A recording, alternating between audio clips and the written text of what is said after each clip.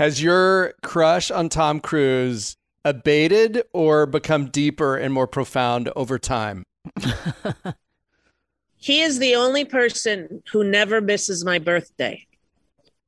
In knowing him for 25 years now, he has never missed my birthday or an event in my life or now I don't know him enough to go, "Hey, Tommy, it's Ro." The Scientology thing. Can we chat? Like that's not my mm. relationship with Tom Cruise. I don't have his home phone number.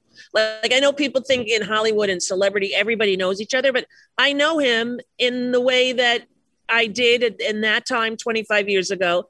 But every year I think what a classy guy he is that he never has forgotten my birthday. A lot of people say to me it's just his secretary, but I don't believe that.